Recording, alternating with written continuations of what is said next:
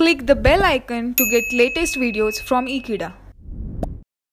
Hello friends, in the previous lecture we have discussed about the preparation as well as the chemical reactions of HCl and now here we are going to talk about the uses of HCl. So what are the uses? Let me talk about that in this topic.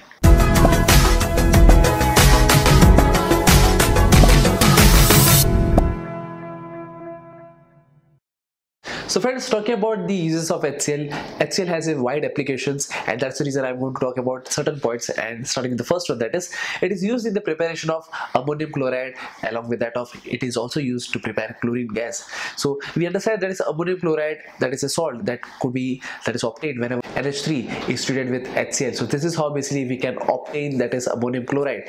But that HCl can also be used in the preparation of chlorine gas that is Cl2 gas.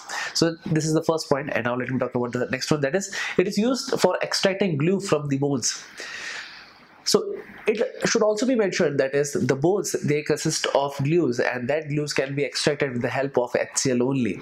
And talking about the next one that is it is used in the manufacturing of glucose by hydrolysis of corn starch that is suppose for an, any organic reactions we are using HCl and in this case basically I'm talking about the third point.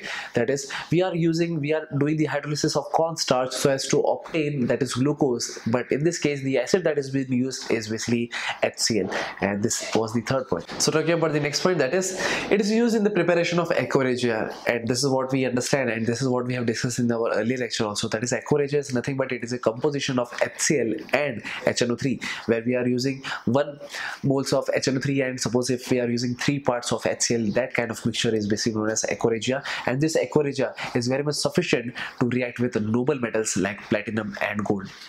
And talking about the next point that is it is used in the preparation of H2 also. So that's the reason that suppose if we are reacting zinc with suppose HCl suppose 2 moles of HCl so in this case basically the product that is what we could get is we could get ZnCl2 along with that of that is H2 as a gas. So that's the reason HCl is also used in the preparation of H2 gas. And that's it. So thank you friends for watching this video. So this was the few points related to the uses of HCl and I hope you have understood these points.